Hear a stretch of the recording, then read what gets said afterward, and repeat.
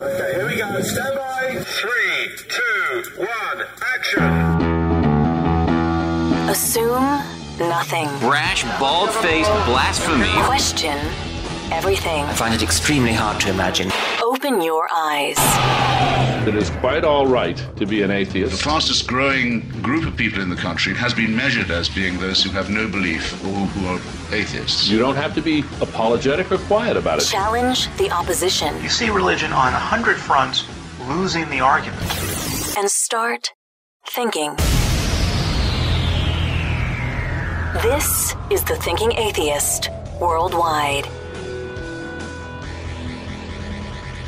We're doing the show a uh, day late because I'm still pouring through an inbox after a much needed week long vacation. You know, it's funny when you go on vacation and come back, there's this pile of stuff. you just look at it and sometimes you think, I should have stayed.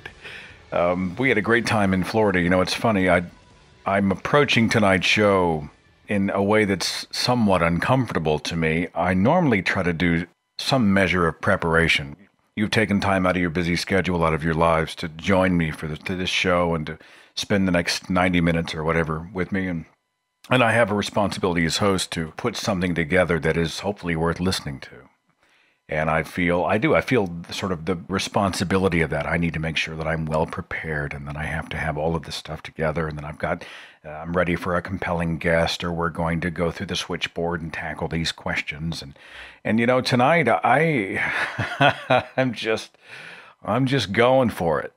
If you are seeking kind of a structured thing, tonight is not your night. If you're seeking a show where Seth does not just ramble on to whatever comes out of his mouth, tonight is not your night. I myself am, am I come back from vacation. I will say, you know, it was a much needed time for Natalie and me. I love what I do. I love the thinking atheist. I love it. I love this community. I love this family. I, I love making a difference or trying to make a difference. And after for some years, I will admit to just being fried. Just fried. And for a couple of reasons. It's not just the schedule. It's not just nonstop. The shows and the videos and the travel and all of this other stuff on top of the family and the job. It's a frustration with feeling sometimes like you may feel that we're not really making any headway out there. And what brings that to mind is when I continually fight the same fights over and over again. When I continue to hear the same responses, refutations, rebuttals, assertions, whatever, over and over again. A few weeks ago, I released a video called Intelligent Design, which takes a hard look at the quote unquote poor design. If you're going to be one of those people who posts on Facebook, and I see them all the time, they'll go and see a rainbow or a beautiful sunset or a, a mountain vista or something complex and wonderful, or they're celebrating the birth of a beautiful child, or some amazing things happen. And the in the world and the universe is filled with wonder. There are plenty of opportunities for people to sort of get that warm fuzzy. But then they take the next step and they say, How can you look at this and say there is no God? That it is not absolutely part of a design, a divine plan. And I wanted to address some of the design that, quite frankly, isn't all that hot. And we just sort of dipped our toe in the ocean on the order of things that are not well designed. You know, we've been talking a lot about the spring tornado season and the same people who speak about the beautiful sunsets at night and the pretty rainbows have nothing to say when an F5 tornado blows through and destroys a town and kills children when they see, you know, parasitic insects who climb onto a living host and plant eggs in, in its brain, and those larvae eat their way out of the host insect while it continues to be alive in the horribly hideous, painful, macabre scenario. Is that part of God's design? Are you kidding me? We talk about um, for every child that is born healthy, and we celebrate that. We have to talk about the uncomfortable topic of a child that is not born healthy, that is born deformed in some way, or stillborn, and the grieving that goes with the death of a child. You talk about disease. You know, at the microscopic level, there's uh, Stephen Meyer has a book called Signature in the Cell. God's signature is evident even at the molecular level. There can be no doubt of God's design. Well, all right, fine. Look, if you're going to go there, you're going to have to account for all of the stuff at the microscopic level that can kill you or ruin your day. And I'm reading the comments section on the YouTube page. And it's complexity, it's the Bible tells me so, or one of my favorites is, it's a fallen world, which is a huge cop out, right? God gets credit for the pretty rainbows, but for the death of a child, it's our fault. In this battered spouse mentality that is rampant in the church. It's our fault. We were born broken. Adam sinned. Eve sinned. We should apologize for our entire lives. That's just exasperating. Christopher Hitchens was right. This is the wish to be a slave. I didn't see it that way when I was a believer. You know, there was a Christian band called Plumb that had a song called God Shaped Hole. There's a God shaped hole in all of us. And that's the thinking. We are all created with a void inside of us. And we are designed so that God comes and fills the void. Right? You complete me. That kind of a thing. So I am born and I am a vessel for him to inhabit and to then complete me and to be all the things that I cannot be. You heard the podcast I did three weeks ago with my former boss, David Stevens, my KXOJ radio boss. By the way, I've received more emails on that particular show than any in recent memory, and almost everybody said, please do not have him on the radio again. I know it was frustrating. and the problem with that conversation was this he spoke like a slave. Yeah, and I genuinely, I, I'm convinced he's an absolute believer. I know he's, I know he's a good man, but he is of the mentality that who he is, his true character, is only evident at his worst moment. Otherwise, we're all running for office. When you go out and you meet someone for the first time, it's like going on a first date. You're obviously running for office a little bit. You're going to show them your best side. You're impeccably kept. You're you're well spoken. You're saying the right things. You're uh, I get that. But the mentality that he was bringing to the table was when I am at my worst, when I totally fall off the wagon, when I say the wrong thing, when I'm ugly on the inside to someone. Well, that's my true condition. That's a revelation of who I am at my core. Well, how sad is that? I can't necessarily love my wife the way I need to love my wife. I need my invisible friend to give me the power. He comes and inhabits me. And now I'm able to, well, wait a minute. Maybe you love her because she's lovable. And because you are compatible, and because you've invested your life together, and because you've made a commitment. Maybe you're giving yourself not nearly enough credit. Maybe you're doing all the heavy lifting. Maybe, maybe your love is part of a natural order, right? It's a natural phenomenon. It's explainable. I got an email from my own mother right before I left for uh, for Florida. I mean, right right when I left. Uh, people come at me from different. I'm I'm just going on. You guys are my bartender tonight, okay? Just everybody have a seat and here's a cold one and let's talk, okay? Or would you just listen for a few? I need somebody to listen. People come at me from different angles, right? It's like they're testing the walls of, of a fortress and they're seeing where the weaknesses are. So at one point they come at you and and they play the personal experience card. Look, I know this happened. I know it happened, and I know that through sheer enthusiasm and verb, I can convince you that it happened. So that doesn't work. So then they come over to the other side of the wall and they threaten you with hell. Oh, you, you do not want to get this thing wrong because hell is real, man, and you'll cook forever. Look, play it safe, even if you're not sure. That doesn't work because I don't see that as true conviction, right? You're just playing poker. You don't really know what hand you got. So they go to another wall. You've just been wounded. Something happened to you in your life. And, you know, I feel the heartbreak within you, Seth. And I want you to know that God loves you. and he wants to heal what it. So now I'm broken. Now I'm operating from a position that I am damaged, and that is altering my perception. Well, that doesn't work because I have a pretty clear view into my own life, and it just doesn't wash. I've got a wonderful life, and I'm surrounded by love, and I'm I wouldn't go back. Then they play the condescension card. Everybody knows there's a God. I mean, what what if you want to walk away from God? I mean, you can, but you're totally in the minority. I mean, evolution's been laughed out of the scientific community. Very, very few legitimate scientists hold to evolution by natural selection, and they admit that history is proven by the scriptures, and the scriptures prove history, and it's all confirmed, and prophecies have come true. I mean, everybody knows you can take the minority position and be a laughingstock if you want. That doesn't work. They come back with something that could be a near death experience. Proof of Noah's Ark. Are you kidding me? Somebody invoked the Creation Museum. The Creation Museum proves, wait a minute. And these people know I've not only toured the museum, but produced a 12 minute video on the experience. It's like I'm talking to a brick wall. Don't you ever feel that?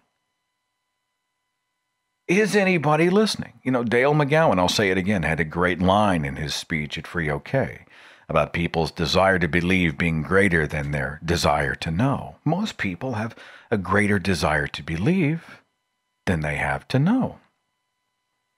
We looked at these textbooks that are being used in Louisiana to prove that dinosaurs and human beings coexisted. Because look, it's the Loch Ness Monster and the Loch Ness Monster happens to be a plesiosaur. I'm sorry, they're teaching this to young children as science in a private Christian school. It's child abuse. I have to sit back and be a witness to young kids on my own family tree going and giving their public profession of faith to Jesus and being baptized. And I just sit back and watch. I mean, it's not my they're not my kids. And I look at these kids and I think, God, they never had a chance. Surrounded by people who believe that they came from a, a magical garden. And that's their normal.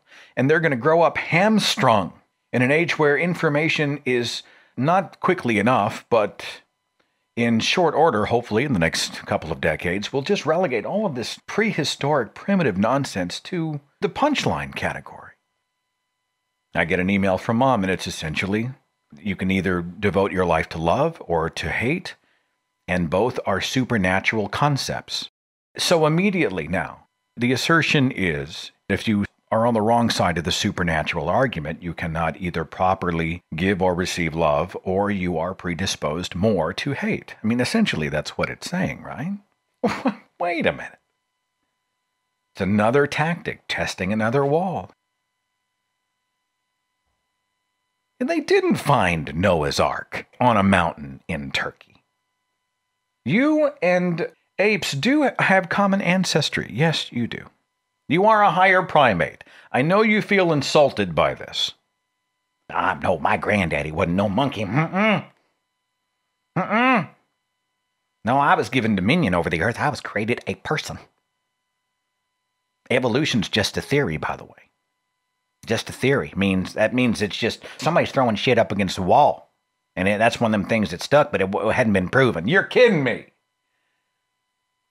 Have you looked at the definition of the word theory in the scientific context? No. The god of the gaps.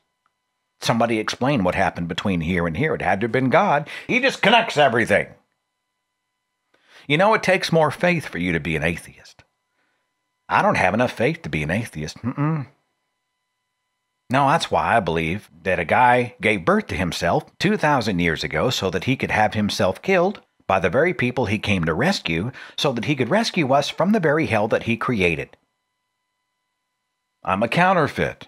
You know, if Seth was ever a true Christian, there's no way he would have ever walked away from any of this. Mm-mm. No, he's, you know, he must not have done it. Were you there at Eastwood Baptist Church when I was nine years old and went forward and emphatically said the salvation prayer and believed with all of my heart Jesus Christ had come into my life to rescue me from myself, right? I was born a sinner, deserving of hell. That's how broken we are, kids. We deserve an eternal torture for something somebody else did. An innocuous act, by the way. Adam and Eve didn't go out and rape and pillage and kill and commit genocide. They didn't torture babies. They didn't do any of the stuff that. No, they ate a piece of fruit, and in doing so, created a scenario where we deserve to be tortured forever. How screwed up is that? I draw a big circle around the problems with Scripture. This doesn't agree with itself. This is hugely contradictory. This is just ridiculous. Well, you took it out of context. In what context does a 969 year old human being make sense to you?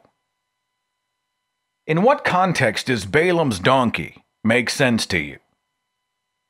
In what context does the plunging of swords into the beating hearts of babies make sense to you? Your personal experience is absolutely unimpressive to me. I just know it happened is not proof. God, for everybody saying it about Jesus Christ, there's somebody else saying it about Allah, or there's somebody else saying they were abducted by aliens. I just know it happened. Well, great. That and about four bucks will buy you a cup of coffee at Starbucks. The human eye is too complex to have evolved. I've been hearing that for four some years. Five years? They have computer models that show how it could evolve. They show the stages of evolved eyes in nature. Photosensitive cells, the primitive eye, the complex eye. You go to some of these creation websites, they parade out these PhD types who say that I'm here to give credibility to the God argument, right? I stand upon the Bible. How can somebody stand on the Bible and then be taken seriously in the halls of legitimate science? It's, I mean, I get the compartmentalization. I get what happens in the brain. I get that many, many, many, many hugely intelligent people also believe in the talking snake. I get it. We're talking to Shermer about it on one of our podcasts. It's often not about intelligence. The desire to believe is just simply greater than the desire to know. Maybe it's the power of childhood indoctrination. Maybe something else is in play. Shermer's got a great book on it, by the way. Michael Shermer, The Believing Brain. Really good.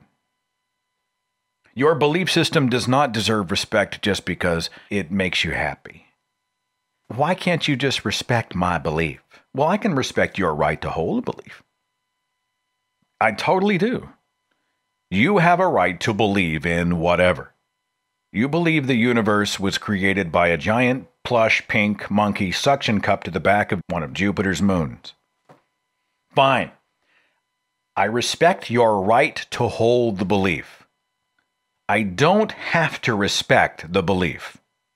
Why do you get a pass? Why can you walk in, in a room and say the earth is flat and automatically I'm required to respect it? It's bogus. And in the age of information, in the age of Google, in the age when you can go into any encyclopedic library, when you can go into many university courses online in a matter of moments and check everything out, you should prepare yourself for the white hot light of scrutiny that will shine down upon this ridiculous assertion. It's coming, trust me. If I have to hear one more time that our founding fathers here in the United States of America were all Christians and founded a Christian nation, I'm going to put my head through a wall. When I was in Christian school, they taught it to us so strongly that they incorporated the American flag into much of what we did. You know, we set our pledges to the flags, right? The American flag, but we also set our pledge to the Christian flag and to the Bible. When we had questions at Temple Christian School when I was in fourth grade, we had what was called the PACE system, where we sat in these little cubicles. If you had a question in your little cubicle, you didn't raise your hand. You had a little American flag. And you stuck it in this little post up here, and that flag was up until one of the monitors, aka teachers, came by to help you with your question. American flags were everywhere. God and country, God and country, God and country. Geez, they practically painted Benjamin Franklin and Thomas Jefferson and John Adams holding a Bible. So now, here in the year 20 or 13, you raise your hand and you say, well, actually, no. Thomas Jefferson was a deist at best. Franklin didn't believe, John Adams didn't believe in, in the Christian God. Have you heard of the Treaty of Tripoli? What? The government is in no sense founded upon the Christian religion. It doesn't make any difference. I don't care what you say. What, when someone says to me, I don't care what evidence you bring to the table, I'll never give up my belief in God. Are we wasting our time? Doesn't make any difference what you say. Well, wait a minute. If I could bring you true information, stuff that is verifiable, correct information, wouldn't you want to know that? Aren't you curious? Doesn't truth matter? Doesn't matter what you say. Mm-mm. They say there's no atheist in foxholes. Well, they don't see the mountain of emails I get from men and women in the armed services worldwide who are non believers in any God. They play the Hitler card. Hitler. Yeah, the reason Hitler killed so many Jews was because he was a believer in evolution. No! God, it doesn't even wash. Charles Darwin got saved on his deathbed. No. There are no transitional fossils. No. Hey, prove he doesn't exist. That's not even an argument. You can't prove he doesn't exist? Well, that's not how we start. I was speaking in uh, Clearwater, Florida last week. We had a great time. I mean, it's just so much fun. We were at the uh, Unitarian Universalist of uh, Clearwater, and they have an auditorium called the Octagon, which I'm going to try to get some pictures from that night. I wasn't able to take very many myself, but you're on an amphitheater type floor with a podium, and then the seats sort of rocket up all around you and on eight sides, hence the name Octagon. And they were just precious people, and we had a great time. Brought out a presentation, we did some Q and A, and somebody was asking about what can we do about the whole angry atheist thing. How can we focus less on anger? And I said, well, actually, anger is sometimes a legitimate response. You know, I'm angry at the targeting and indoctrination of children, scaring kids with hell. It just makes my blood boil. I'm tired of watching politicians play God like a chess piece to get votes in a largely ignorant electorate. Faith, family, candidate X believes in God and America.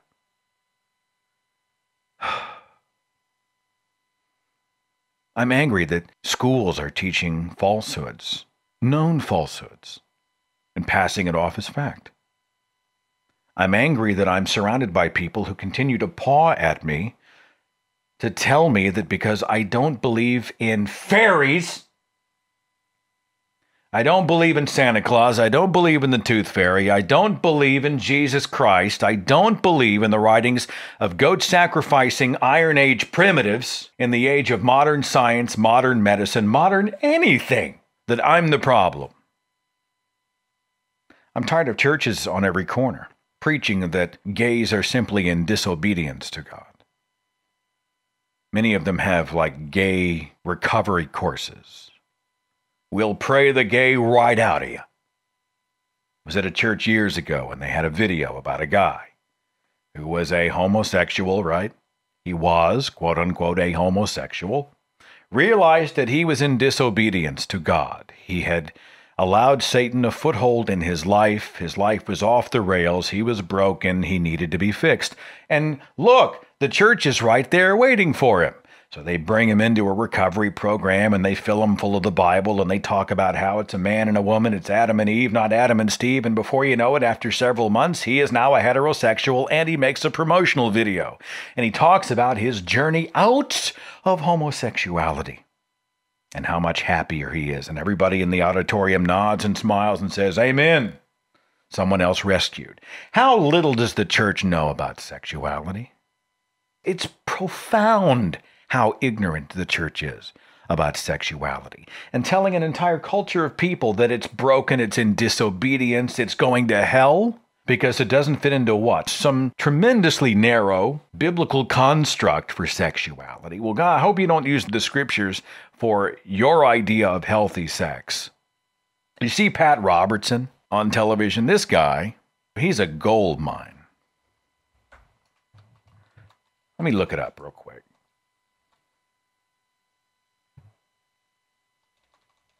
He told one woman who'd sent a letter into the email bag that that the reason her husband cheated was because she wasn't providing a wonderful enough home. He believes that Haiti had an earthquake because Haiti'd made a pact with the devil. he believes that Gay Day at Disney World is going to cause Orlando to be hit by a hurricane. Here's what he said. He said that killing someone in a video game is the same as killing someone in real life. Murder committed in video games is no different than murder in the real world.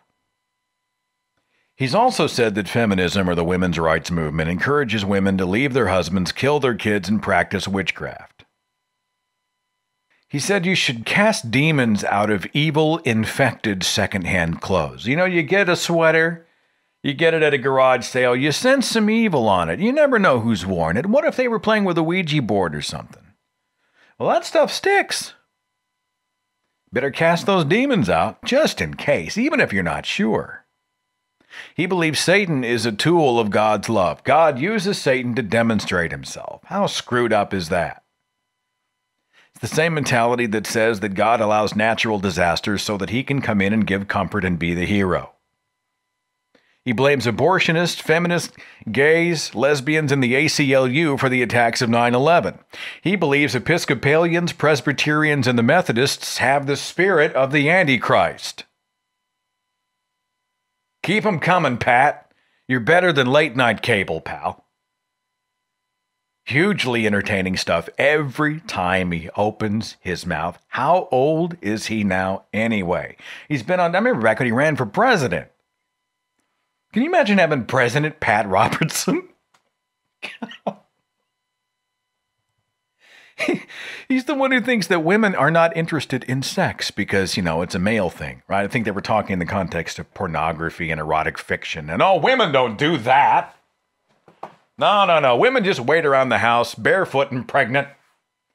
And the reason they got pregnant is because the man was interested in sex and she's just available. After all, according to Pat Robertson and the scriptures, the woman must be subservient to the man. She must follow his lead. He's the final say. I was talking to a female friend of mine who uh, we were having a debate about God, brought up the Bible's perspective on women. Women, shut your mouth, be silent in the churches. If you have something to say, go home, tell your husband. You can't tell us, go tell your husband, let him represent. You're not qualified. She did the same thing. You know what? I, I don't really want the big decisions in my life. No, I mean, I don't feel like I'm wired to, to you know, I'm, I'm more than happy to defer, to let my husband handle all that stuff. I just take care of the kids, do my thing. What a huge waste of potential to surrender yourself, to surrender your own value. Why would you need to gain your worth from a man? You know, how about a 50 50 partner?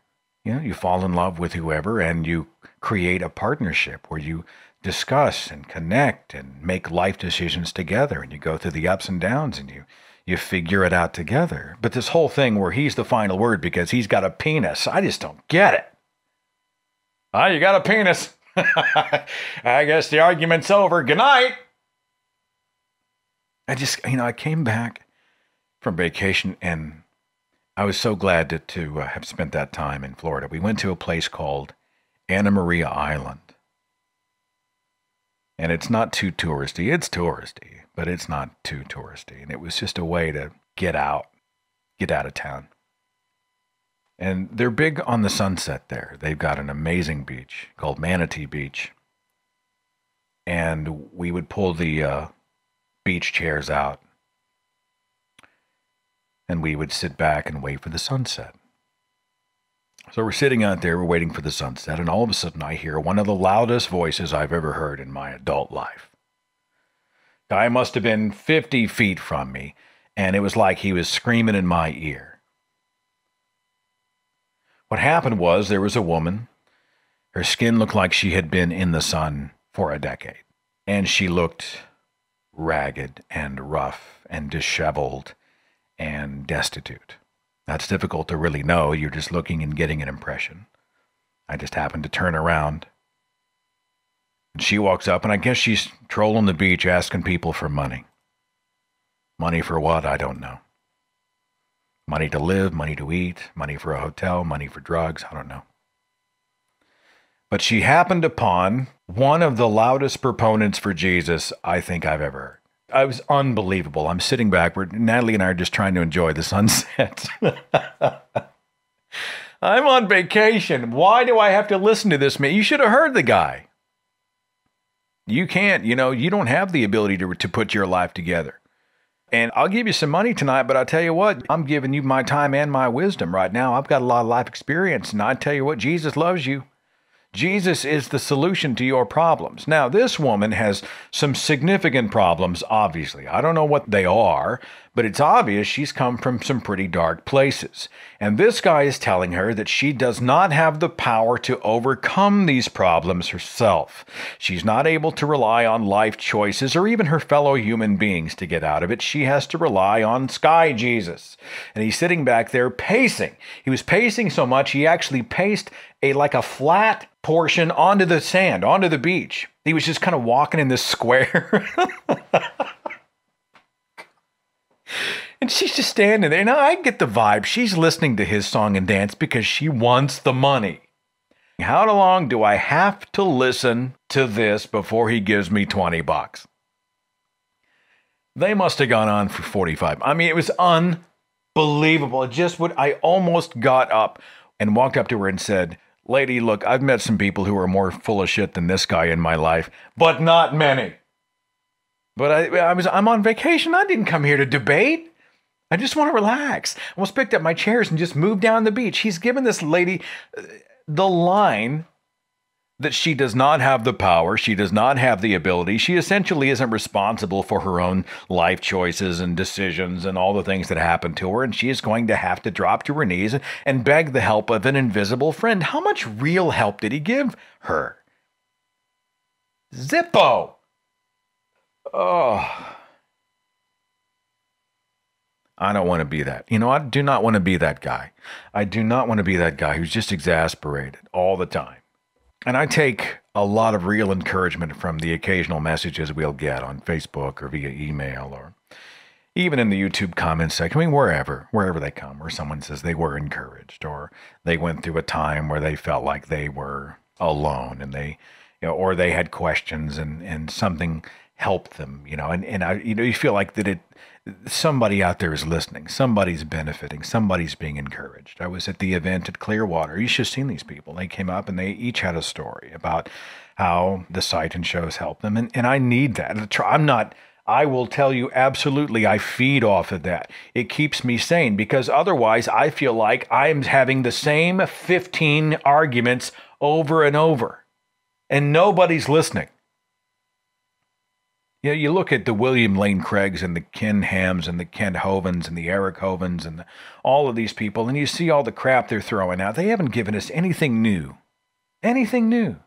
The Bible tells me so, so it's true. God gave me the kiss of knowledge. So that's all I require. I have the guiding of the Holy Spirit. So now the Bible does make sense. Now I have enlightenment. 40 minutes. Have I said anything at all to you? I feel like I should just apologize. but I want to feel like we're making a dent. And I and look, I know this right now. This is just this is just somebody bitching and moaning.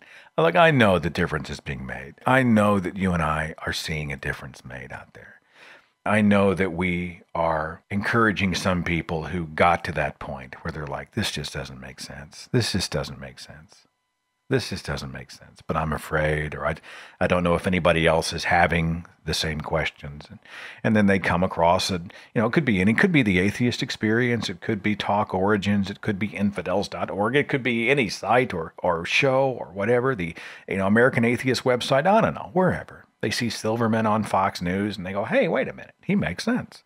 You know, I, I know that there are some people out there who are benefiting but I'm right now. It's just sheer. Just I, I'm tired of having to deal with the same crap over and over.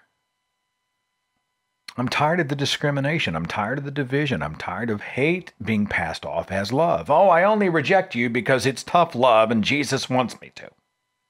Now, we love gay people, but we hate the sin, and we don't want gay people in our lives, kids. By the way, they're tainted by Satan. They take these people and they put them off in these little pods where they can spend years of their lives, decades of their lives, completely unchallenged, and then they grow up and vote. They grow up and impact policy. They go up and build the radio station, you know, the audiences of these talk radio stations, you know, operating with absolute falsehoods as their foundation, and they don't care that it's long been refuted and addressed and debunked or whatever. I'm done bitching. And I'm going to let you do some talking. Area code 480. You're on the Thinking Atheist radio podcast. Who's this? Hey, Seth, how you doing? I'm doing well. What's happening with you? Who's this? Now, this is Carlo. I'm calling back in again. What's going on? Just wanted to, you know, I, I heard you, you know, feeling beat down about, uh, you know, all these people, you know, bringing up the same old arguments again. And honestly, I mean, I feel the same way. I, I hear all that stuff all the time. I honestly think they're just preaching to themselves. Even though they're talking to you, they're just preaching to themselves. They want to convince themselves because they're, you know, they're, they're just terrified. They're terrified of the unknown. They're terrified of dying, and they just need this. They need this God pacifier to make them feel good. You think it's because of doubt? Do you think they secretly doubt? And so now they're trying to I- convince themselves? I think it's. I mean, it's just like you were saying about you know they live in these like like I said you call them a you called it a pod. Uh, Jon Stewart called it bullshit mountain. Um, Bill, Bill Maher, I'm making a note of that. Hang on. Hey, bulls. Bullshit. you can get a chance to, uh, Well populated area, by the way. Bullshit Mountain has a lot of residents, apparently. So I'm sorry. Go ahead. Go ahead. If you ever get a, oh, just on the subject of that, if you ever get a chance, check out uh, Jon Stewart uh, his debate with Bill O'Reilly last fall, and see it on YouTube. Where he talks about bullshit mountain. But yeah, I mean, they just live in this isolated little world, and they, like you said, I mean, there's there's a whole echo chamber of that stuff in the church. I mean, it's um, how could evolution be true? Because I've never seen a crocodile, and it just echoes there, and they think that like you know every scientist in Harvard, Yale, Dartmouth, um, Berkeley, all these places that they've never heard this message, that they've never heard that. And, they think that, you know, if you talk to Richard Dawkins, he's going to go, oh, I never thought of it that way. Gee, you're right, there are crocodiles. So evolution must be true, or evolution must not be true. And it's just such a shock. And I think when they finally meet people that are rational, it shakes their world and makes them go, you know, holy cow, what's going on? So they have to, you know, double this up. They go back to their church leaders, and you know, they feel like they're so shot down. So they go. I I think things like the Creation Museum, that's all built for fundamentalist Christians. It's not built to educate the unenlightened world. Isn't Kirk Cameron coming out with uh, a film? Let's see, it's called Unstoppable, and it's an evangelical film. And of course, every time Kirk Cameron and Ray Comfort open their mouths, the rest of us literally drive our vehicles into a ditch. Like, end the madness. you know, so make it stop. Every time they open their mouth, they sink into an even bigger swamp of dumb. I do not understand. And, you know, it's like when um, they unveiled the Atheist Monument in Florida, and Eric Hovind and Sye Ten Bruggencate show up at the Atheist event to raise hell and stand. They actually physically stand on the monument. And, and I don't know if they're talking about hell or whatever they but my, part of me has to think do they really buy this, or is it just about here I am, look at me, hear my voice, I'm somebody? I don't know. I, I don't know what drives all of that. I think they're driven by the numbers. I think that they're driven by how many souls can I convert, and you know I'm willing to do anything. I'll make the biggest ass out of myself to get the numbers. It's like uh, it's like a cosmic Jerry Lewis Labor Day telethon. You know, I I don't know how else to describe it. They just they just want to find as many lost souls as they can and convert them, and they don't care how they have to do that. Yeah. At least I, that's what I think drives people like uh, Eric Hovind. As for the other ones, I can't. Uh, I, you feel I- the pr- you feel the frustration, right? I think we all have this shared frustration. We're all at this moment leaning on each other, going, "It's going to be okay, pal. Just hang in there." Just one more person to tell you that, that hey, it's better to believe in God and be wrong. Uh, one other person to say that you can't get something from nothing. Someone else says, "What caused the Big Bang?" Or why would it be so popular? Why would there be so many copies of the Bible if it wasn't true? Just hang in there because one day all of this fighting the same 15 arguments is one day going to make a difference. I feel like we're a support group, you know? like it's Yeah, okay, exactly. man. I don't know. Did you, did you ever watch The Simpsons? Were you ever a fan of The Simpsons? I didn't watch a lot of The Simpsons, no. There's an old episode that, that probably aired like 10 or 15 years ago, but it was one where uh, Milhouse, who's this nerdy little blue-haired kid who uh, has a crush on Lisa, he gets lost and the whole town's out looking for him.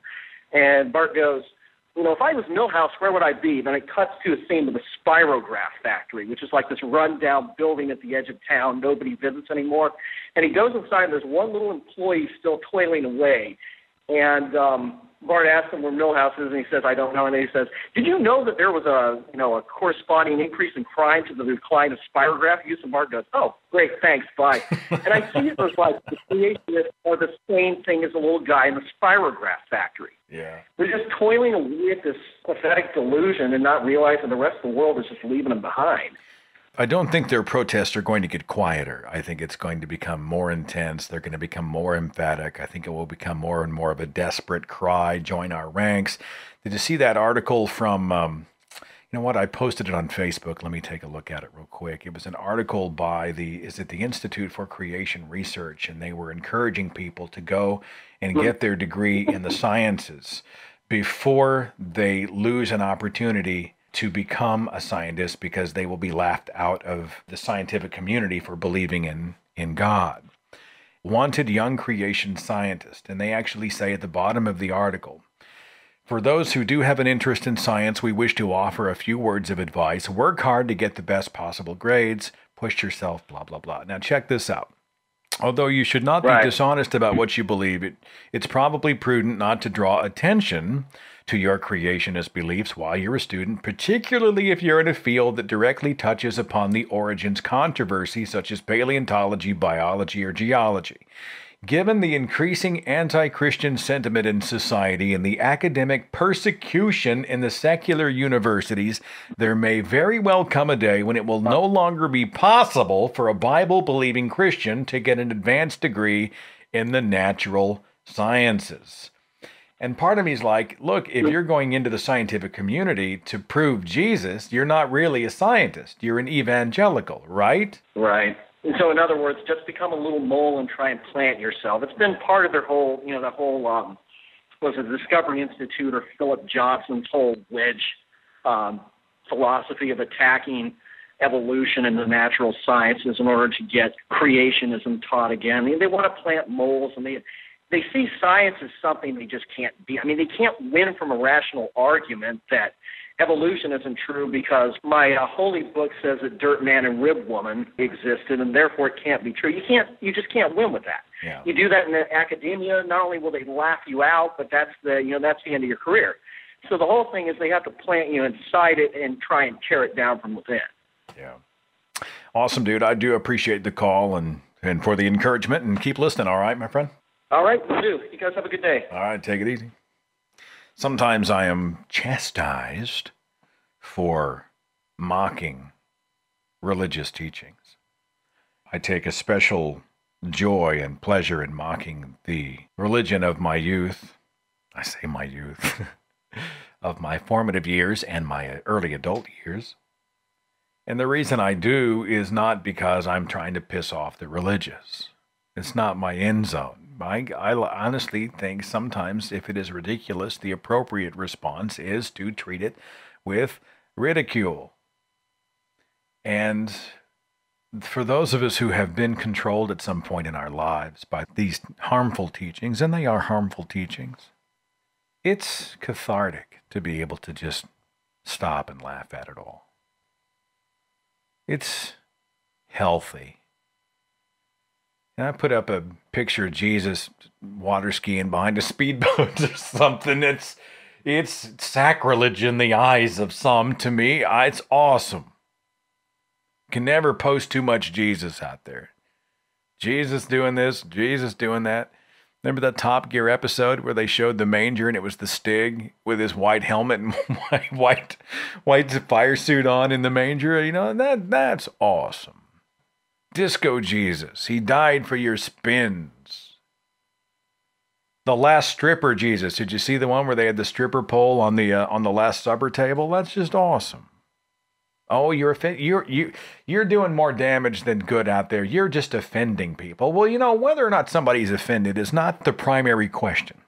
I'm not saying we should not act with others in mind. I'm not saying that we should go out and just throw caution to the wind and be as offensive as we can possibly be. But quite frankly, Stephen Fry was right. If you're offended, so what? Your level of offense has more to say about you than it has to say about me. If I show up and I make a Jesus joke at a party and you get pissed off, it tells me number one, you're not in control of your own emotions, and two, you don't think Jesus can stand up for himself. He's Jesus.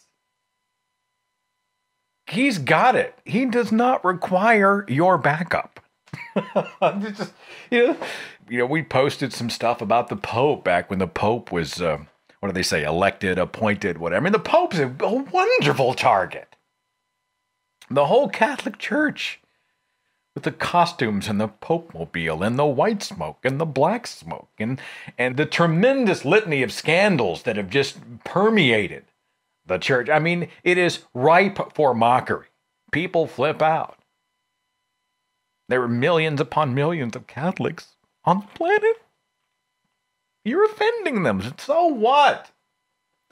Let them see some sacred cows roasted over an open flame. It is healthy. They will also see the lightning does not flash out of the sky and fry my ass. Area code 937. You're on the Thinking Atheist Radio podcast. Who's this? Uh, Mike. Mike, thanks for calling the show. What's up? Not much. Uh, first time I've been able to listen live. Normally out at a atheist meetup group at a bar on Tuesday nights. Better place to be than sitting behind a radio, man. That's awesome. but I'm glad you called the show tonight. What's going on? Uh, going with uh, broken record stuff and the creation evolution debate. I wanted to cross a, a book in the university library one time that was on this, and all of the arguments that were in there from like the 60s and 70s are the exact same arguments that they use nowadays. The same stuff is just being recirculated. Yeah, pretty much no changes at all. So, are you with Carlos and me? Are you, and probably the thousands of other listeners, do you feel that sense of, I'm going to put my head through a brick wall frustration at the fact that we continue to encounter the types of arguments that should have been relegated to the history books that should be completely off the shelf? We should have moved on by now, don't you think? Yeah, I can't understand why so many people don't go with what we can see and what we can know. Probably a host of reasons why. I think indoctrination is powerful. I think uh, I think the church is very attractive in many ways. You know, it, it does provide comfort and security and community and family and purpose.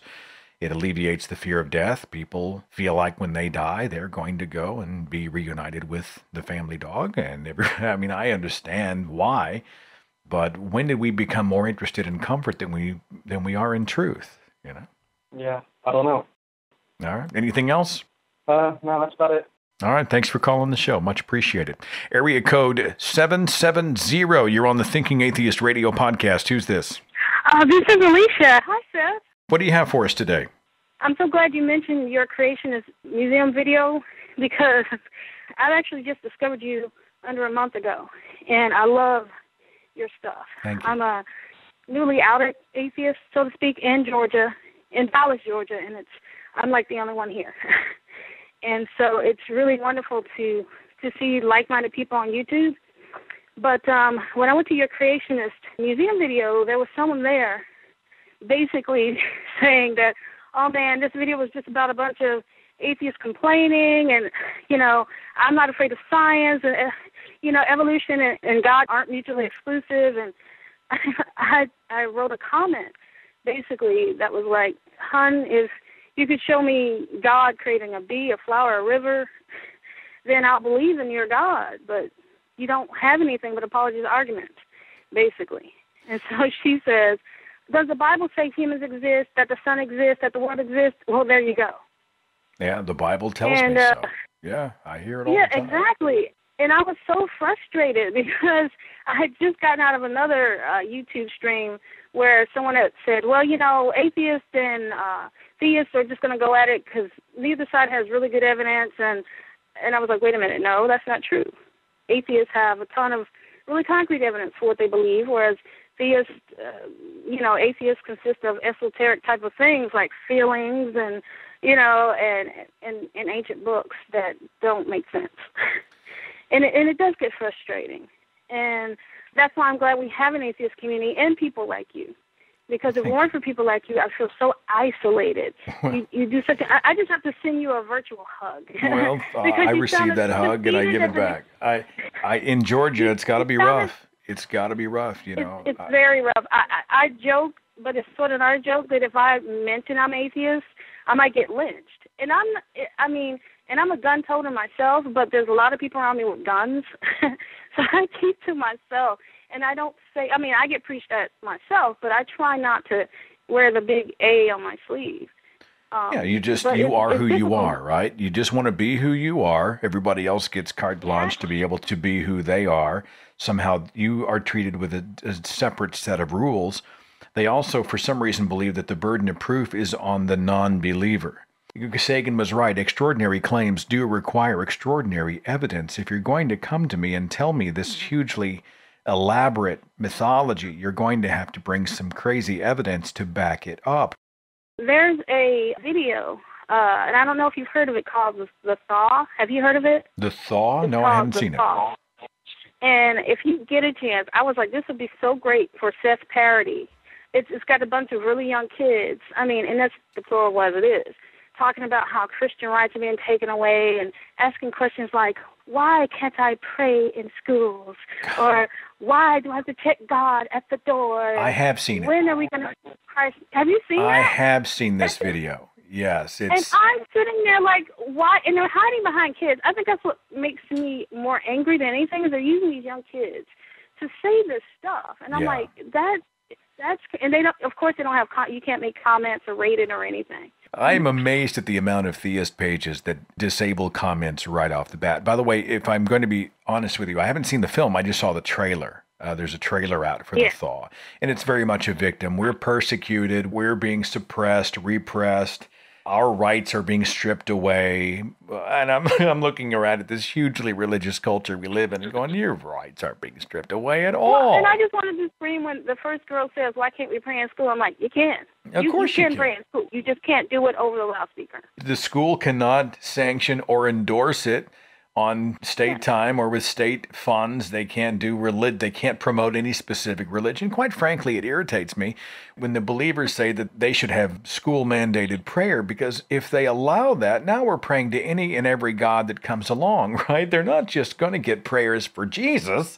Everybody else in the religion category gets a seat at that table. Well, how jacked up is that going to be? And to give you an idea of climate, I was at my dermatologist, and a lady was getting me prepared to see the doctor. And we were talking about different things, and I was saying how, you know, I question the universe. I question everything. I believe it's good to question. She's a Catholic. And I said, and I think she took what I meant because I said I don't know as me being agnostic. Mm-hmm. She said, "Oh, you sound like such a humble person. I mean, I mean, that isn't just being an all-out atheist." And I just chuckled, and I didn't correct her. Yeah, Maybe I whatever. should have. Whatever. You know, I don't get hung up too much on the label. I use atheist because, quite frankly, I I don't say that there is no God. I say that I don't see any evidence to support the notion of God. Therefore, I do not believe in a God. I don't hold to a God. I am an atheist, a non-theist. But whatever, whatever they call you, the truth is, you're awesome for being a non-believer, for being a skeptic in Georgia, in such a hugely a religious community. You're awesome. skeptic. You're awesome. Think about it. I'm a black skeptic in Georgia where Dr. Martin Luther King walked down the street. So when I meet other black uh, Christians, they look at me like, er? Like, like it's a slap in the face to King. And I'm like, no. You know, actually, uh, Dr. Martin Luther King was for the separation of church and state. It's something people don't even know. Well, let me encourage you. You know, I, I have my moments, and this is probably tonight's one of them. When I get, I tend to pop an O ring a little bit. But the absolute um, truth uh, is, people often say, you know, do I ever miss things about? So there are some times when I, I miss the simplicity and comfort of being a believer, but those times are extremely rare. They last for about three seconds. I would never go back, no matter how difficult, no matter how frustrating. Yes. I my I find Yes. my life now so much better, so much more fulfilling, so much more awe-inspiring and satisfying, and so much more filled with wonder and gratitude than I ever had when I was a believer. So I know it's not easy for you in Georgia, but be encouraged. You got the good stuff. You probably have come further in. How old are you, may I ask? I am. No, no, no. You know what? 42. And if you if you paused, I don't want to know. no, no, no, no, no, no, no. I'm not listening. I'm not listening. I don't want to know. Okay, I don't want to know. What, but I'm, what I'm saying is, there are people who live, let's say, three times as long as you, and they never get there, and you totally have, and you found your own voice, and I think you're to be commended and celebrated. You're awesome. Okay. Thank you so much. You're one of my atheist heroes. Well, no, come on. You and I are all in this together. You We're all doing what we can. All right. So you just keep swinging out there, and I appreciate you. You take care. All right, you too. All right. Good night. Thank you. I can go like a month on one of those kind of calls. It was uh, speaking um, when I spoke in um, Colorado and then in Clearwater. By the way, we have a lot of stuff on the calendar coming up. But people ask me, what's my role? And I'm like, well, I don't know what my role is. Uh, But if I had to pin it down, it you know, it ain't a great thinker. Uh, That's not absolutely not. My role is I'm a storyteller, I'm a producer, but I think mostly I want to be an encourager. I, I just want to encourage people.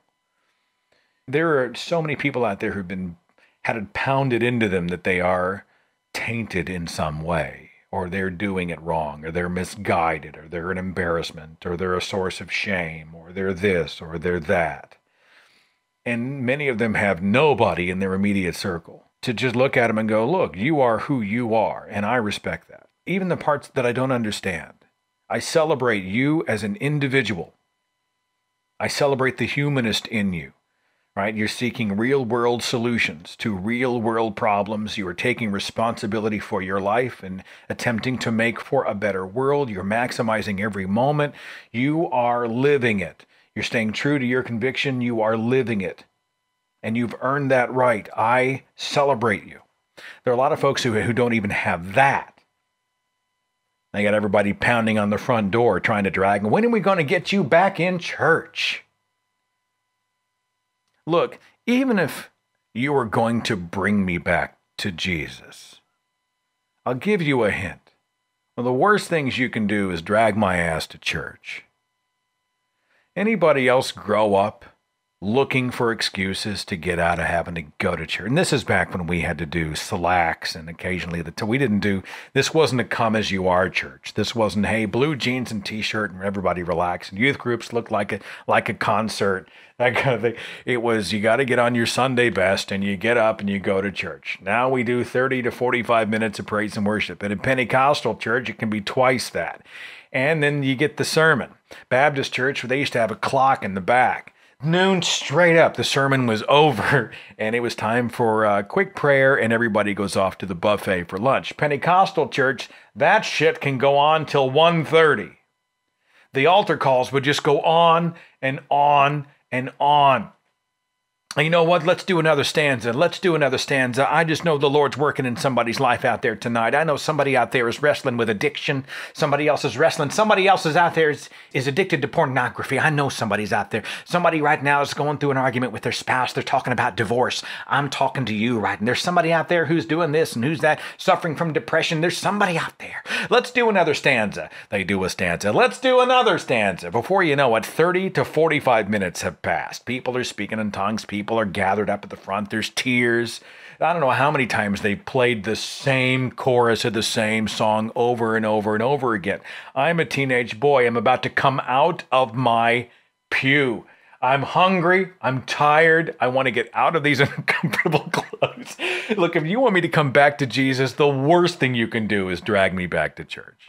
Like, Jesus doesn't need a building to prove himself to me. He doesn't need some egghead behind a podium holding the Bible to prove himself to me. He doesn't need a praise and worship session to prove himself to me. He doesn't need a sermon list. He doesn't need the offering plate. He doesn't need any of that. I don't need the church and the steeple.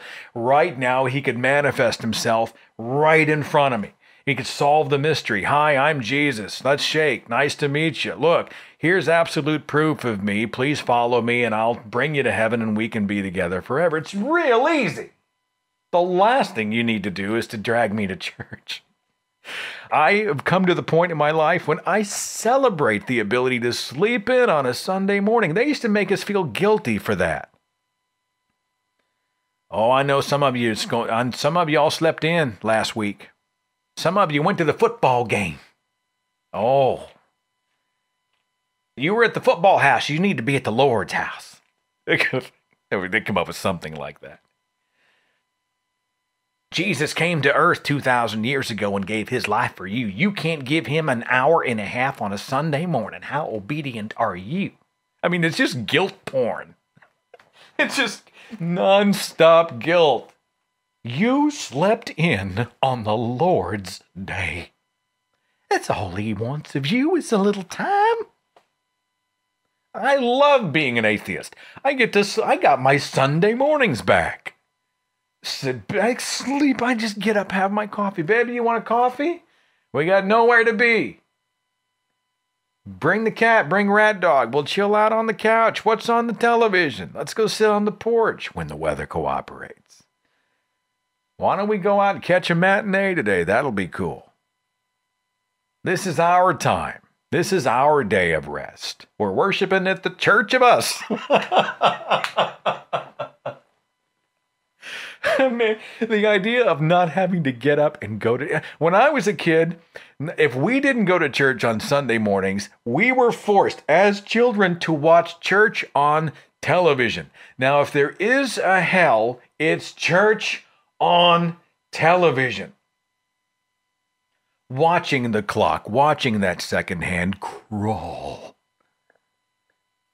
An hour, it's an hour and a half. Sunday morning, there was a Methodist pastor.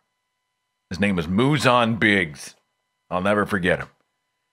Boston Avenue Methodist Church had a um, uh, a show they used to broadcast his sermons. We'd watch. You know, I don't know why we were watching Methodist. We weren't Methodist. Mom was Pentecostal. Dad was more of a conservative Baptist type. They used to watch Robert Schuller's Hour of Power. By the way, Robert Schuller, the Hour of Power, Mr. Success, Mr. Prosperity, Mr. Blessings, bankrupt. Remember the Crystal Cathedral when they built that monstrosity? it's, like, it's like this this monument to excess. The sun's pouring in through the panes of glass. To be able to witness God's beauty, the beauty of God's nature. Bankrupt. I think he's even estranged from his own son. His son was poised to carry the mantle to take over the hour of power, and they ended up with a problem, and he kicked his own son out of the church. I mean, come on. The hour of power is not really all that powerful, is it? The guy's destitute.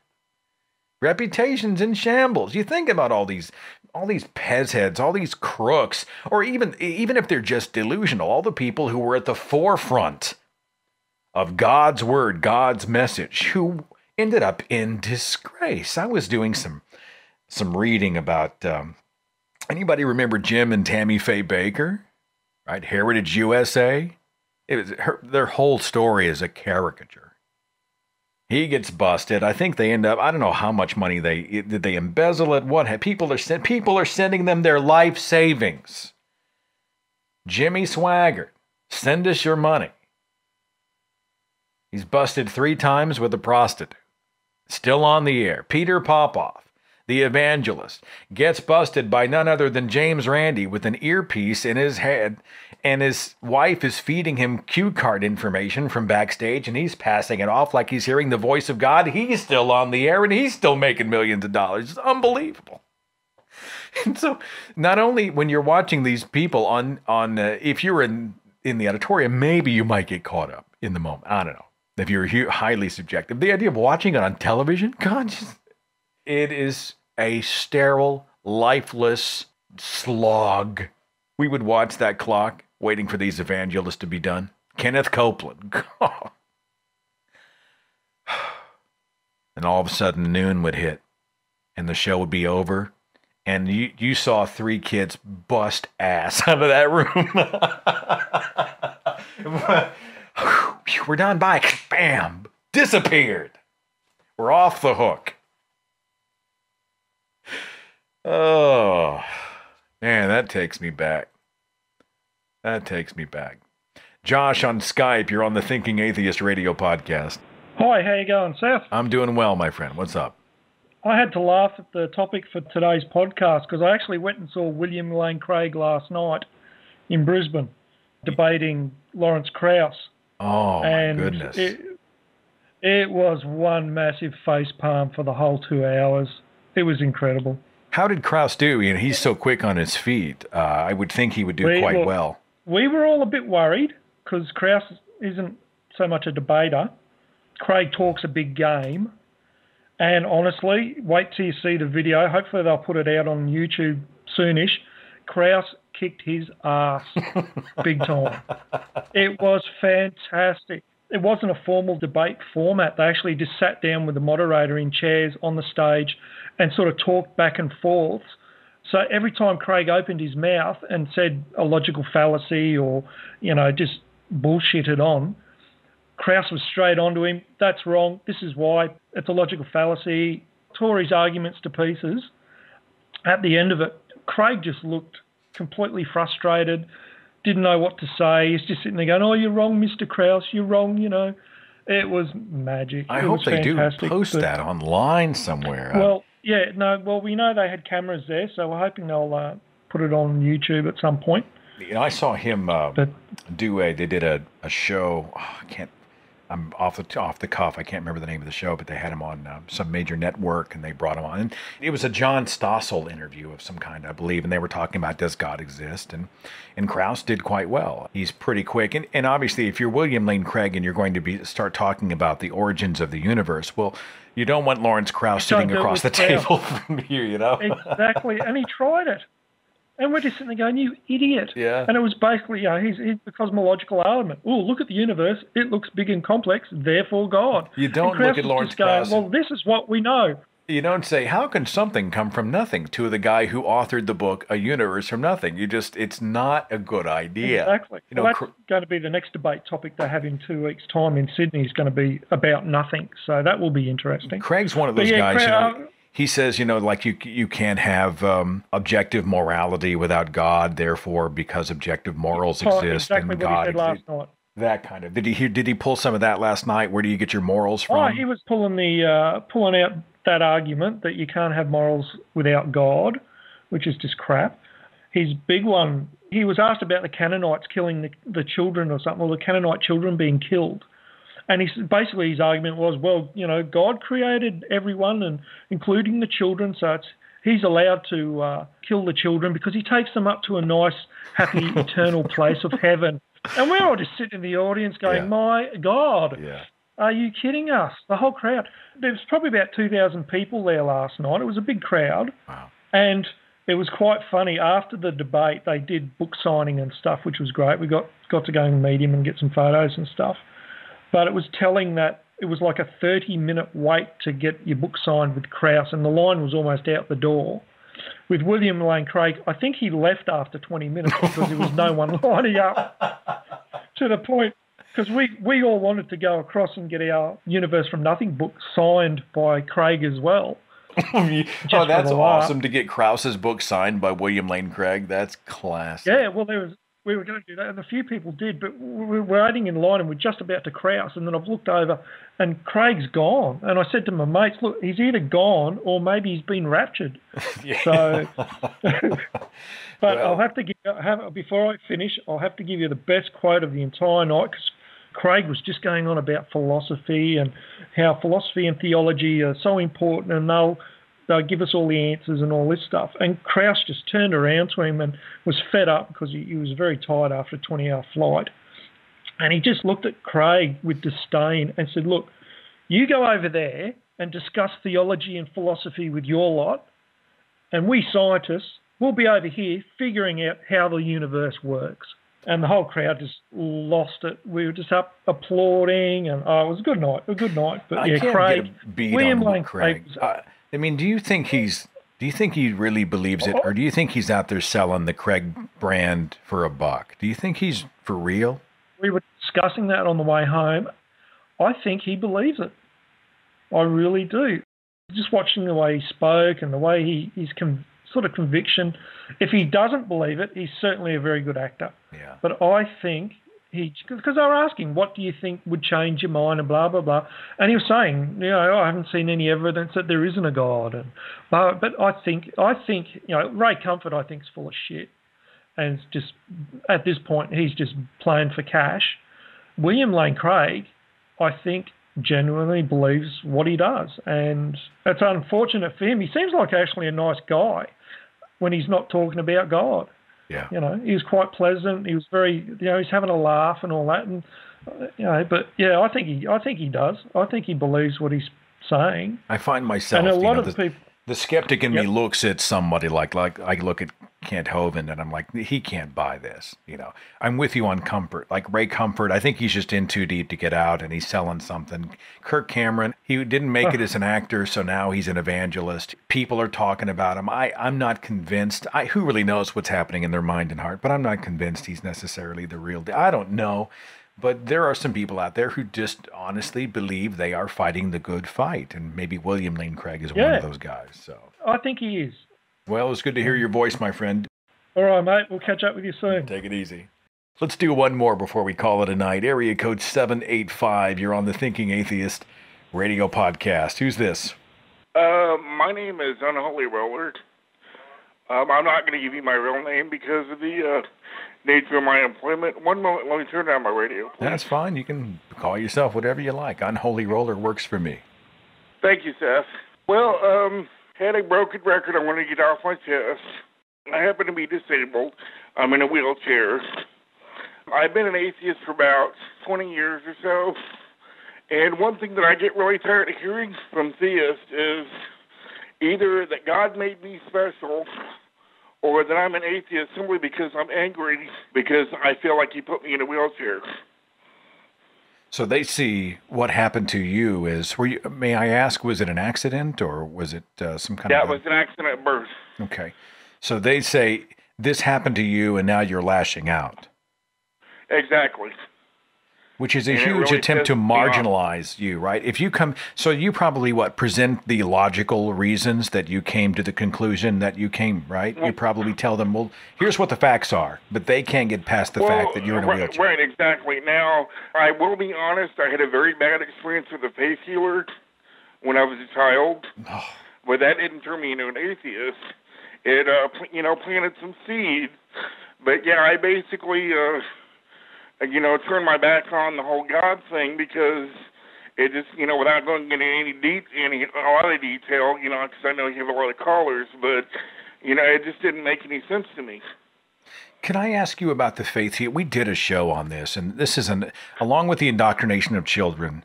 The phenomenon of the faith healer is a real hot button for me, right? They bring these Right. people up, they give them hope that God's going to come and bring them wholeness and healing and wellness and a complete whole body.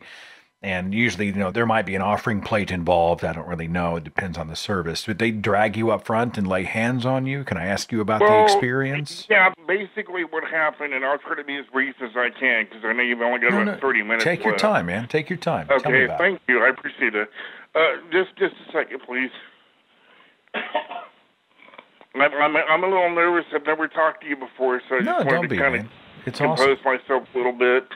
Um, I've been a big fan of the show for a long time, and actually, um, I'm on your friends page and your Facebook page, but I don't want to give my name right now. That's all right. Uh, but anyway, when I was about eight, I mean, my parents weren't real religious or anything. I mean, they didn't force anything on me. I mean, they believed in God, but we never went to church or anything. And uh, they had basically decided to let me make my own mind up about religion, which in some ways is both good and bad.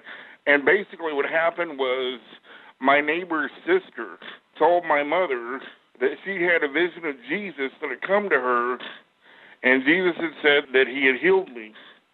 And then I went, and then I needed to go to these revival services that evening.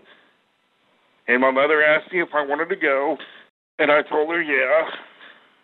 Um, I don't think she should have let me, but Yeah. everybody has 20/20 hindsight, I guess. And basically, what happened was they dragged me up there, and I get on the stage and everything, and they got the music and the the hallelujahs and and all that shit going on, and uh, I try to take a step out of my wheelchair, and I fall off the stage. And so, what were your expectations? I was totally convinced that Jesus was going to heal me. And when Jesus did not heal you, what happened? Well, I, won't say. Well, as you know, you know, becoming an atheist or rediscovering your atheism, as I like to put it, is sort of a gradual process. So I can't say that's what turned me into an atheist, but it, it planted some seeds. Yeah, if they come and they And- promise divine healing, right? A supernatural work. God still You know, performs and- miracles today, that kind of You thing. know, yeah, and for a long time, you know, you know, I wrestled with you know, why didn't God heal me? You know, it sort of turned into the same argument as the whole problem of evil thing. Yeah. You know, we, we just don't know. You know, His ways are higher than our ways, and all that happy horse shit. Well, and they get a pass. I mean, you know, it wasn't God's timing if you're not healed, or maybe you didn't have enough faith, or maybe He's going to heal Right? you later. Yeah, yeah, I didn't have enough faith. That was something else that I got, and I didn't really rediscover my atheism until about 20 years ago. Hmm. Uh, but that that was a seed there, you know, that was planted, and um, you know, I'm just really fucking tired. Pardon my language. I'm just really tired of hearing. I'm just really tired of hearing, you know, well, you're just angry at God because you're in a wheelchair. Which, by the way, um, when one of the Phelpses said that to me, I'm originally from Topeka, Kansas. I spit in their face. So, wait a minute. One of the Phelpses, like the Westboro Phelpses? Yes. They said Yes, to you the reason that you're in a wheelchair is because why? She said God put you in that wheelchair. Oh. Oh, but yeah, we're well. I spit on her glasses, but Man. that's getting way off topic. Well, it, But- look, but any- there. You know, you honestly tested the promises of religion, right? Religion made a claim, and your condition allowed you to test that claim. I wanted more than anything to believe. And you came away and you thought they were wrong. Nothing happened. Everything that's happening around me is a cause and effect thing. It can all be explained naturally. So even if you being in a wheelchair in some way was part of the overall conversation for you, it's a legitimate part of the conversation. It's a Right. legitimate part of that exploration into what is true, what is not true, what can be supported, what cannot. And Right. uh, I mean, how you doing? Are are you are you the angry, pissed off atheist? are you? I mean, Uh, you it probably carry some of that with you you, right? Uh, it depends on who you ask. I usually, um, I usually on the internet. I usually go by the name of Unholy Roller. Yeah. You know, atheist in a wheelchair type thing. Because, like I just said, I don't. I've got to be careful because of where I work. I get that. You know, and play it as close to the chest as you need to, especially on the internet. You just never know who's watching. I've Right. had people who have who have lost careers because they were on Facebook and said something. It's Oh, I, I've lost a couple jobs because of it. yeah. So I get it. I mean, I, nobody judges you for using an alias. Yeah, I whatever. know you do. as long as you're part of the conversation too. I mean, one thing about the internet is by being able to have a handle. I have people who will create multiple accounts. They have one account they use for mom and dad and the employer, but they're so desperate to be a part of community or at least a, a conversation out there. They have another account and they'll mm-hmm. log on and they can go and be who they need to be. you know? Yeah. Well, I don't hide anything on Facebook. Yeah. You know, I, I I use my name. I put up, you know, I, I make no bones about who and what I am. And I think honestly, because of political correctness, because of the fact that I'm a gimp in a wheelchair, um, you know, people are afraid to, uh, you know, attack me or stand up to me, for lack of a better term. Yeah. Which I think I could use to my advantage, actually. You know, as far as, uh, you know, getting my message out there, for lack of a better word for it. Well, you But, know, uh, I hope this doesn't sound like a cliche, but you know, your body in some way may be restrained, but there are no restraints on your mind, on your intellect, on your ability to choose, and that's something I'm. Oh, I have a year of law school under my belt. I'm sorry, I missed it. Could you say it again for me? I have a year of law school under my belt. Law school. Good for you. So. All right. But uh, go ahead, sir. No, go ahead. I'm just I'm following your lead right now. it- You're doing great. Well, also, what I, you know, I just wanted to uh, get those two broken records off my chest, or maybe those were two different sides of the same broken record. But I just really wish people would stop saying that to me. Yeah.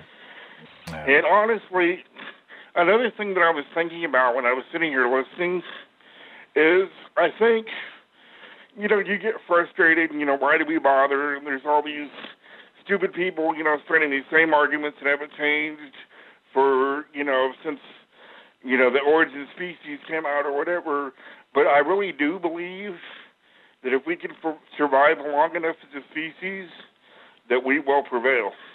I have no doubt. I really do think it will not be, the facts will not be repressed. No matter how crazy it gets, no matter how insane the conversation sometimes feels. Uh, I think one of the reasons that despite our frustrations we keep kicking is because we think you know, the, the truth, especially in the age of the internet of information, of, of such amazing scientific discovery, there's no way that the facts will be repressed. And the truth is going to get out there. And, and I think it's going to, forgive the expression, set a whole lot of people free. Thanks again. And um, yeah, I was I was just going to say too. I think another another thing that points to the fact that we will win is that I've been an atheist since the early '90s, and when I first got on the internet, I mean there was the infidel guy, and Atheist Network Radio, you know, and uh, Dillahunty and some of those other people, and that was it. And now there's stuff all over the place. So we will win if we survive long enough. And I would like to thank you for taking my call. All right, take care of yourself, my friend. We'll see you later. Later, man. All right. The Unholy Roller. Man, it sounds like a movie. You know? In a world of the Unholy ruler. By the way, I mentioned that uh, there's a lot of events coming up. Um, the easiest thing for you to do, and I really hope that you'll consider if these events are coming to the area that, that the region you live in or, or or you can make it to some of these that you support them you know there are so many on the calendar right now i'm i fear a little bit that that um i'm hoping overexposure is not a problem but there's nothing like getting together with a group of people who get you and uh, I love the opportunity to be able to shake the hands and give hugs to people who've been such an amazing support system in my life, and that is you. And uh, so, just very quickly, I will tell you that the weekend of uh, August 30th, which is Labor Day weekend, is the Atheist Alliance of America National Convention. That's going to be in the Boston area, and it's it's going to be major. It's going to be a major. Uh, Dr. Andy Thomson's there. Uh, Maryam Namazie is going to be there. Dr. Steven Pinker. Um, the uh, Pennsylvania Atheist Humanist Convention's happening the weekend of the 13th. Jerry DeWitt's going to be there. JT Eberhard, he was a recent guest on our show. Jamila Bey, by the way, I'm having her on, I think, in September. I'm working on it. Um, Apostacon is on the 20th of September in Omaha. Uh, Florida Free Thought Conference the weekend of November 2nd. James Randi. I mean, I'm so there. Uh, Dave Silverman, Nate Phelps, Darrel Ray is going to be there. Uh, Teresa MacBain, uh, a whole lot of great stuff. Skepticon's coming up in mid November on the weekend of the 15th. Just a lot of good stuff on the calendar. That's going to be in Springfield. And you can see those listed on my website. Just go to thethinkingatheist.com slash tour. And they should all be listed there with links and registration info. It's a whole lot. It's, it's, it's a lot to take in but it's exciting. It's exciting to see this sort of uh, surge of free thought events and people coming together to support each other and exchange ideas and challenge each other and make memories and make friends. And it's it's everything I say it is and a whole lot more. If you haven't been to one of these things, trust me. I saw some people in Denver and they were like, "This is the first conference I've ever been to like this, and it's awesome." I mean, it was it, to be surrounded by hundreds and hundreds of people who who celebrate reason, who celebrate the fight against indoctrination of children, who who celebrate human rights, right? Not just heterosexual human rights, but human rights. I mean, it's amazing how the non belief in God spills over into so many other areas of your life. And it really has ignited for many of us uh, an awe and passion for discovering and living in the real world, the world as it is, not as some mythology paints it to be. And so uh, I feed off of these events. They, they certainly take a lot of, uh, of out of the schedule. I was looking at the schedule, I'm a little overwhelmed by it. But the truth is, once I get off the plane, I get a chance to be there. There's just nothing like it. And if you haven't done one, you really, really, really should go. Okay, thethinkingatheist.com slash tour is the website. Thank you so much for enduring my rant tonight. Kind of a long monologue of me just totally unprepared, just blowing smoke. I appreciate you putting up with it, okay? And thank you for that. If you have a podcast topic suggestion, I'd like to talk about the things that are on your mind. Some of the things that are sort of ringing your bell these days. If you have an idea, why don't you shoot me an email? Podcast at thethinkingatheist.com. Take care of yourself. Have a wonderful week, and I'll see you next time. Follow The Thinking Atheist on Facebook and Twitter. Watch dozens of original videos on the Thinking Atheist YouTube channel. And visit our website for resources, links, contact information, the editor's blog, and more. TheThinkingAtheist.com.